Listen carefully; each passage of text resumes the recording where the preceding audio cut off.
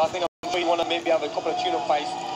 My fight coming off the loss against uh, Canelo, I think uh, maybe have a nice tune-up fight myself, or maybe go into a big fight. I mean, I'm still spending, I still spend a lot of time in the gym, make sure that I'm, uh, I'm, I'm improving myself, I've become a better fighter. So yeah, it's going to be December. Next next date for me is going to be definitely December. I can't wait to get in the ring and go back to America. You know, you know, Jim, I remember first commentating on me back in 2004 at the Olympics. That's right, yeah. That's how we met the Ghana there, wasn't he? The only one, wasn't he? yeah, yeah. With that silver medal and uh, he's, he's, he's progressed. But you won the bronze one, was it? I won a bronze, Bronze medal, yeah. You, you got Uh, so, so, so, so, no, no, no, I mean, You that's take no, no, I didn't don't want to get that in, but I I'm saying, spoke about it, by the way. I experience, didn't ex- get, I experience-wise, didn't get, you didn't get any medals, but uh, you look the same. All right, you can fight that, you news. Um, it was great for Richie to give me that advice when I was in the Olympics because I, at the time when we had that conversation, I hadn't even won a medal, and he was telling me about his bronze medal and the way he won it, and stay calm and everything, and you know that's what you need. It's all about team. It's, it's a team sport as well. Listen, you've got a lot of fighting left in you, but you know what you're going to do when you stop. You're going to be elbowing me out the side up here, aren't you? Aren't you? All right, you can fight news. Uh, basically, Amir Khan saying he, he wants to win another world title. We've heard it from him before. Uh, he talks about liking the Danny Garcia rematch when he's had several opportunities at making a rematch with Danny Garcia. Plenty of chances. Dude was with Al Haymon for time. For a heck of a long time. While Danny Garcia was still out there. While he was at 140. I don't know what Amir man. Amir Khan, man. He also had to say that um, he's training hard, and whatnot. His hands fucked up. He said uh, he's been fighting with hand injuries uh, past three years or whatever, four or five years. so uh, talked about his hand injury, talked about his training. Amir Khan uh, mentioned Errol Spence's name. I don't think he wants to fight him.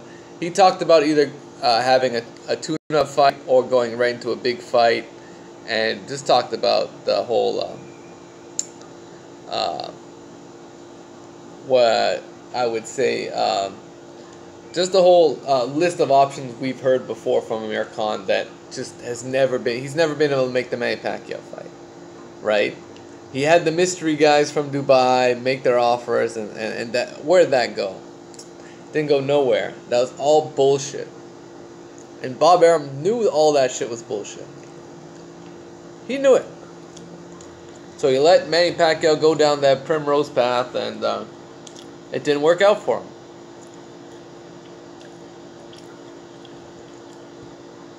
But yeah, Amir Khan has completely resurfaced. He's back, sort of in some kind of a. He's, he, he always he's an attention whore for real.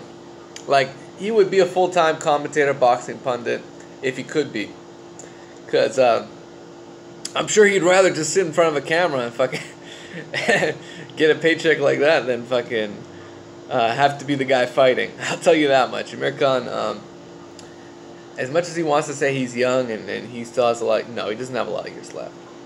He's another fight away from being knocked out and being completely put out of his, put out of his misery. He needs to fight a tune-up fight and gradually build himself up. That's how you come back. If you've been knocked out the way he got knocked out versus Canelo, you don't come back in with a tough puncher. And in fact, he has been purposely matched away from big punchers ever since he fought and lost to Danny Garcia. And then he subsequently lost to Lamont Peterson. And even after that, they've been keeping him away from big punchers.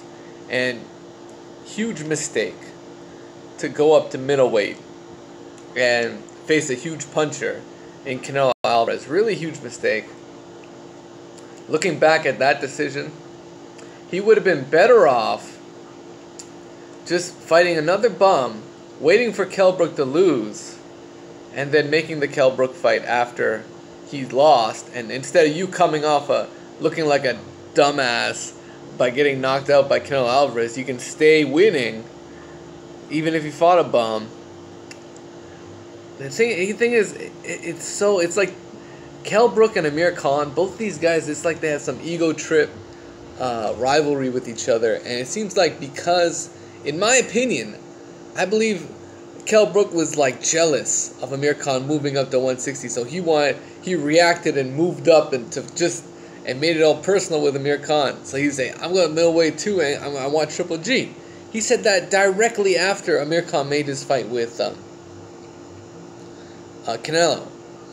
Um, Kell Brook wanted to go up and fight Triple G. He fucked himself up too, and he cashed out his uh, undefeated record pretty much.